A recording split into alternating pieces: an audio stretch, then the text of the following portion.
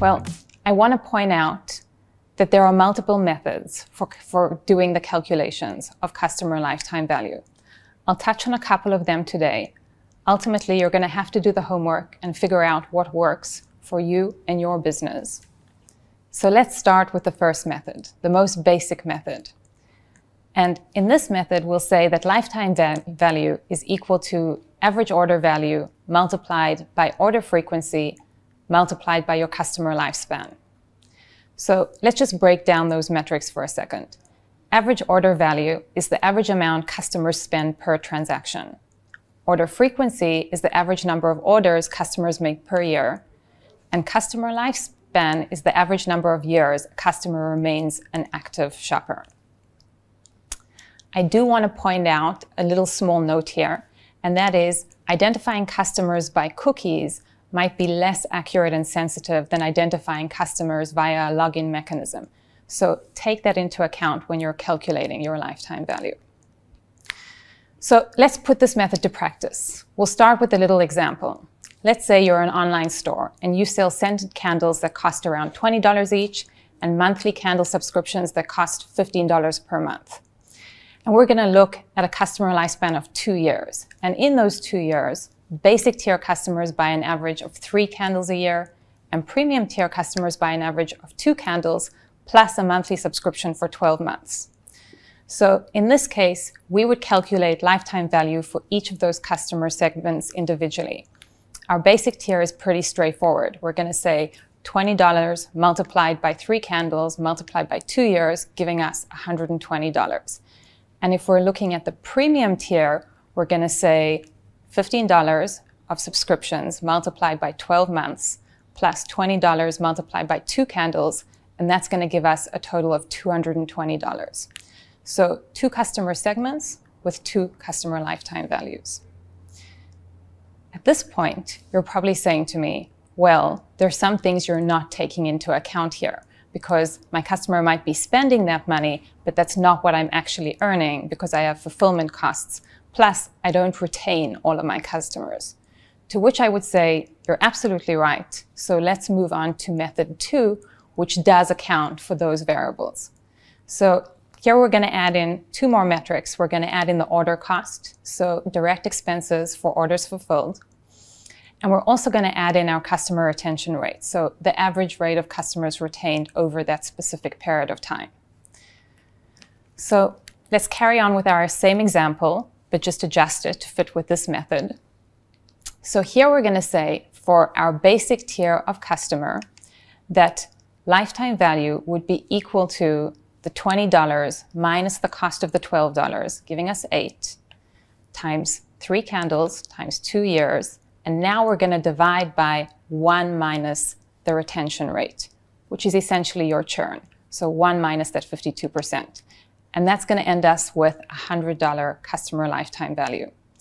And we'll do the same calculation for our premium tier customers, again, adjusting for the order costs. So we're going to say $20 minus the 12 multiplied by the two candles, $15 of subscriptions minus the 12 of the fulfillment times 12 months divided by the churn, and we have $108.33. So now that we've calculated our lifetime values, we can start to think about our return on investment ratio. So return on investment really just means how much you're earning on every customer you're acquiring. And in order to calculate it, we need to take a look at our customer acquisition cost, which is exactly that, how much it costs you to acquire a customer. So your return on investment ratio is lifetime value divided by your customer acquisition costs. So in our first method, the basic method we looked at, we had two lifetime values, basic tier 120, premium tier 260. Let's account now for our customer acquisition costs. So let's say that we spent $20,000 to acquire 800 customers. That means we had an average customer acquisition cost of $25. So basic tier ROI would be 4.8x and premium tier ROI would be 8.8x. We could do the same calculation if we used method two to calculate our lifetime value. So if you remember here, we had basic tier $100, premium tier $108.33. And again, calculating the ROI is going to give us 4x for basic tier, 4.3x for the premium tier.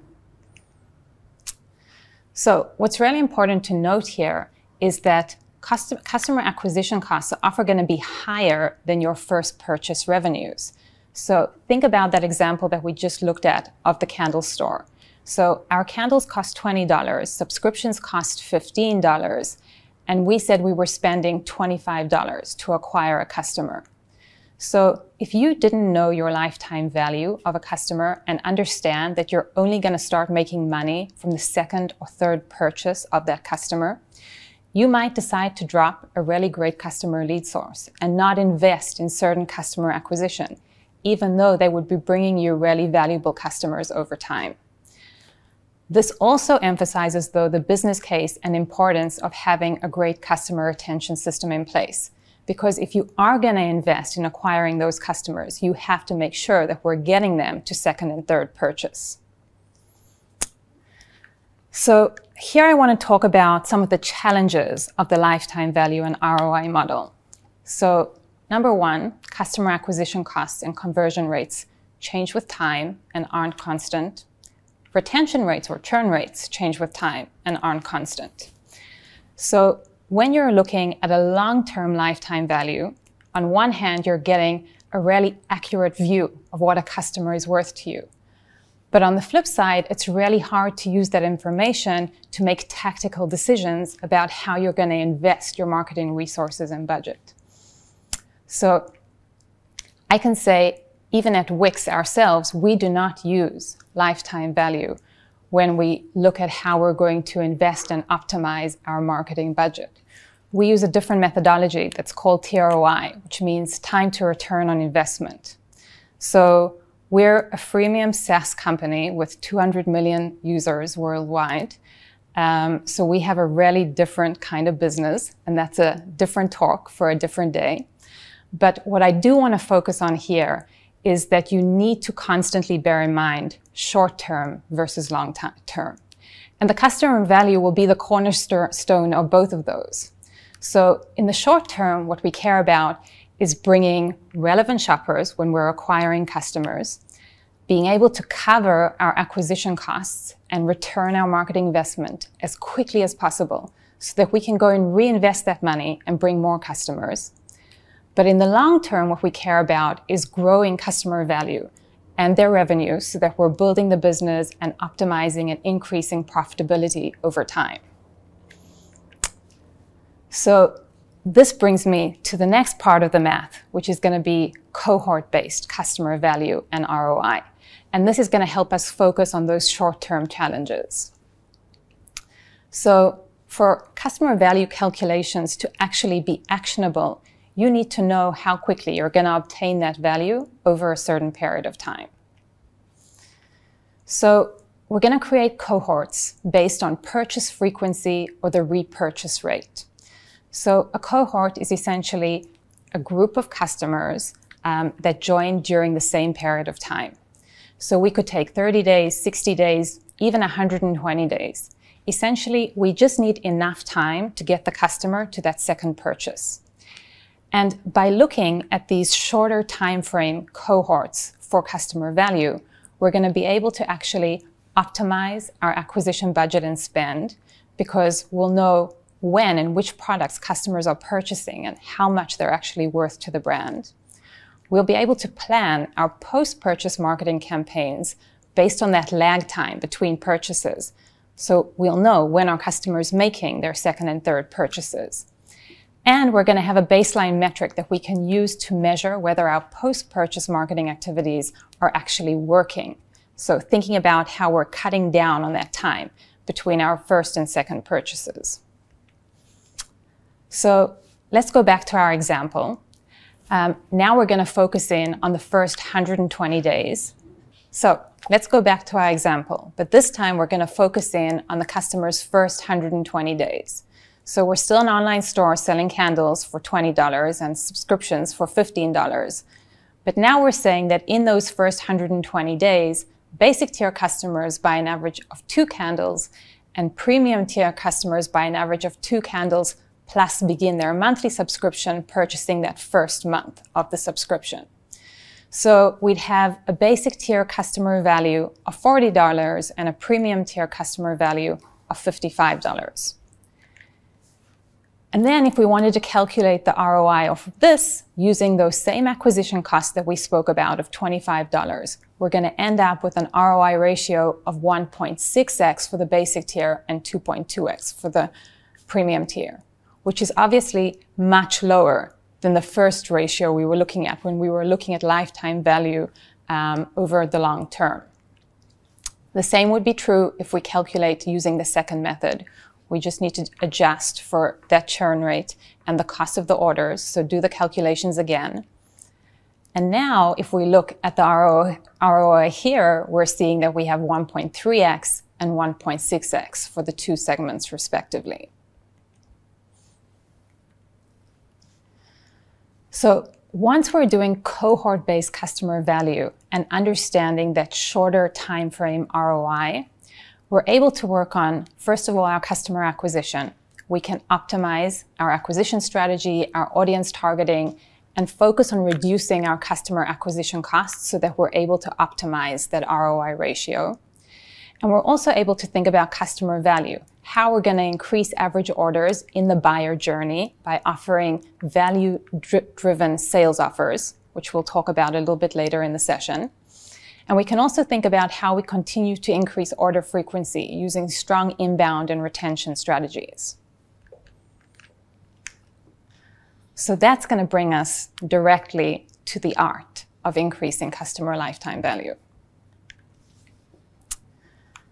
So when we're trying to increase our lifetime value, there are going to be many areas we want to impact. We, we might want to increase the average order value. We might want to drive repeat sales. We might want to build customer relations. But ultimately, what we're focusing on is providing value throughout the customer journey. If we're going to be pushing things to customers that they don't need or want, we're going to end up annoying them and driving them away. So everything that we do to, to try and optimize those sales and get customers to buy more has to drill down into actually providing them value. So we'll start with the first and most important step, which is know your shoppers. We won't be able to do anything if we don't really understand who our customer base is. So think about why customers chose to buy certain products from your store. What's the product that they're buying? What does it say about them, their needs? What are their demographics? And then what are the shopping patterns of buyers of a similar makeup? Go into your data and analyze the past buyer metrics of previous customers. It's going to help you understand the true, true motivation behind the purchase. And then you can start to think strategically about those buyer personas um, or customer groups so you can create compelling offers that speak to their specific needs and wants. So once you've done that, you're ready to start implementing sales strategies. The first two that I want to talk about are upsell and cross-sell. They're similar in that they both aim to get customers to spend more, but they work really differently. And I find that people sometimes confuse them. So let's clarify. Upsell is when you encourage customers to buy a comparable, superior, more expensive product than the one they're actually considering. So let's say you want to buy a burger and then the salesperson convinces you to take the deluxe superior bur burger that costs 20% more. In a cross-sell situation, you're trying to encourage customers to buy related or complementary products in addition to what they're already buying. So again, think about that burger. In this case, the salesperson convinces you to take a side of fries along with that burger. So there are lots of different ways you can implement a cross-sell and upsell. We'll look at some examples. The most, one of the most popular ways in e-commerce is by displaying related items on the product page. At Wix, we see that stores who display related items on their product pages get an average of 43% more sales transactions. So that just goes to show you how effective a cross-sell or upsell strategy can be. Let's look at some examples and understand how this would work. So this is a website called Forge to Table. They sell handcrafted Japanese chef's knives. And here we're looking at one of their knives product page. Um, and you can see down the bottom there that they've added related items. And in those related items, they're suggesting additional products that you might want to buy along with this knife. So this is a great example of cross-sell. And here they're showing us during the browsing stage of the buyer journey, the consideration stage when we're in the product page. So this would also be a great place to do an upsell. Instead of showing those related items of similar, um, of additional items that you want to buy, they could show other knives that are more expensive um, and that the customer might prefer instead of this knife. So that would be an example of upsell. You can continue your cross-sell strategy all the way through checkout. So here's an example of another Wix store. This one is called Coal and Canary. They sell um, luxury candles. You may have noticed that I have a thing for candles. Um, and in this case, what they're doing in the checkout process is after I've selected the candle that I want to buy and I've gone through the, to the cart, they're asking me with that little checkbox down the bottom if this is a gift. And if I select the checkbox, I can very quickly add in a gift card for an additional $5, type in the message right here, and continue with the checkout process. So what they're doing is they're getting me to buy an additional product along with the candle. It's providing me great value because I did want to give that gift, that candle as a gift. So now the gift card is included. I don't need to worry about that on top. Um, and they haven't disturbed the buying process. If, for example, they had tried to do an upsell here, we would be in a totally different scenario. So imagine that I'd chosen my candle, and then when I got to cart, they tried to show me a different, more expensive candle. That's probably not a great idea because you're creating friction for your customer. You're confusing them at that very critical moment of them closing the purchase. So upsell is not recommended to do within the checkout process versus a cross sell that is. You could also choose to sell product bundles.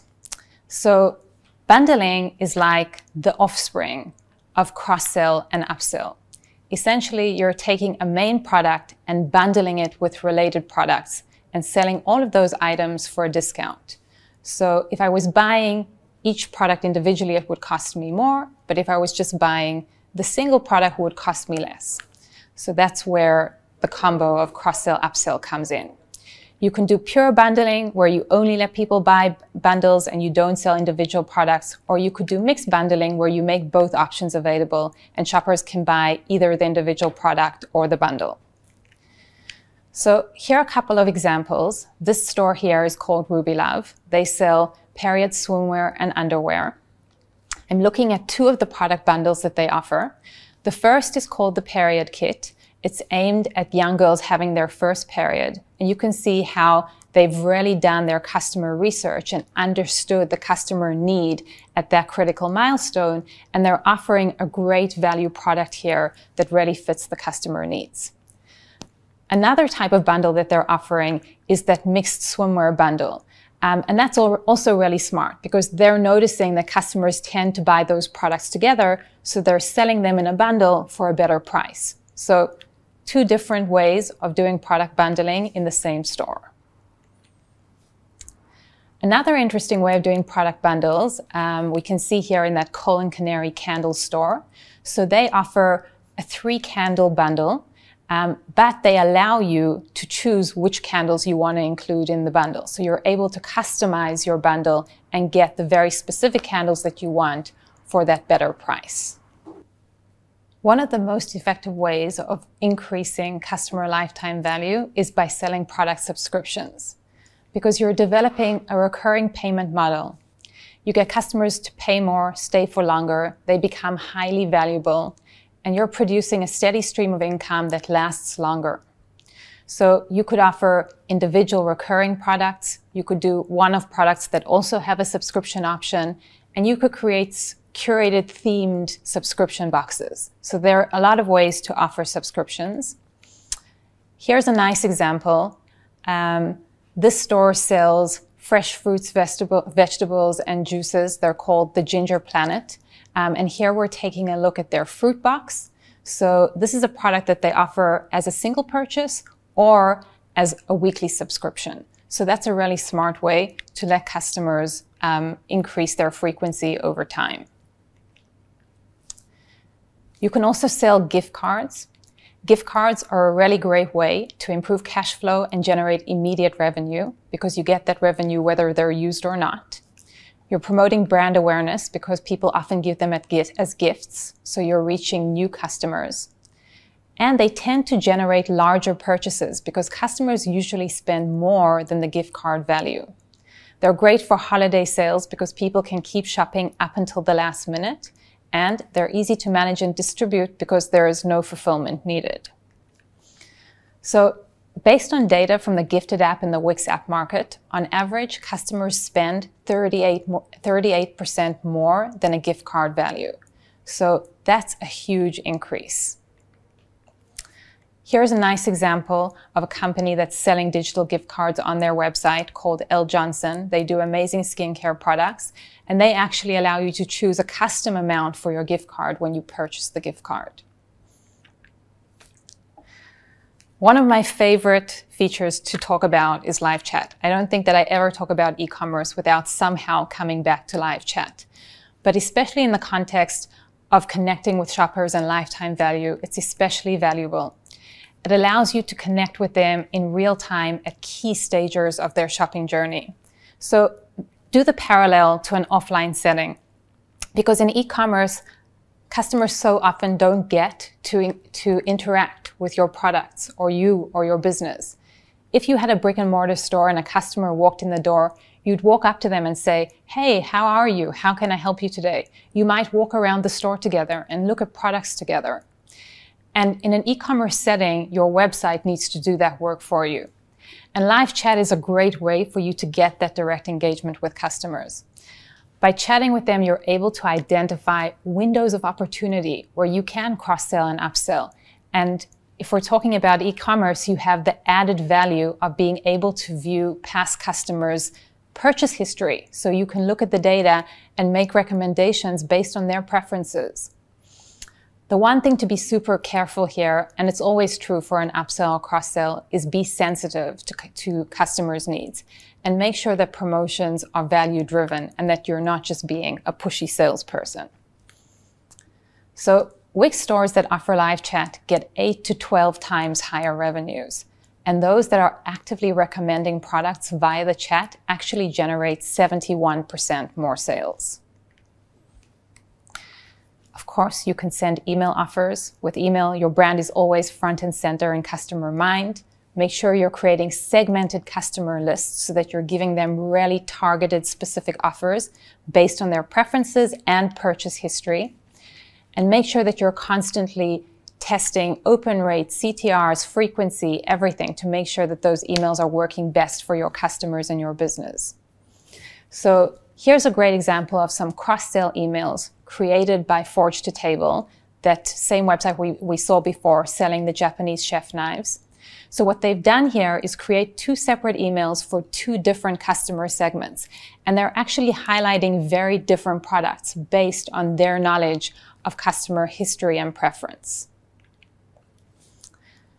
Make sure that you're setting up your business automations. So basically, these are rule-based automations that help you re-engage shoppers and also encourage them to purchase. So I think the most well-known automation is abandoned cart recovery. Those reminders you're sending to customers if they abandon if they abandon carts so that they're making sure that they're following up on the purchase. But you can set up automations for new members and subscribers, offering them some kind of benefit or offer. You can send out um, offers certain number of days after a last purchase if we're going back to that frequency rate. Um, or if you have a product that runs out, make sure that you're reminding customers to get the next one at the right time. So Wix stores with active abandoned cart recovery automations increase sales by up to 29%. That's a huge difference. And here's a really great example from Coal and Canary. our um, Candle store of a different automation that they're using for new members. So every new member that joins their online store gets a thank you email um, offering them a coupon for subscribing. And you can see that this email alone has driven over $45,000 in sales. So that's an amazing job by one small email.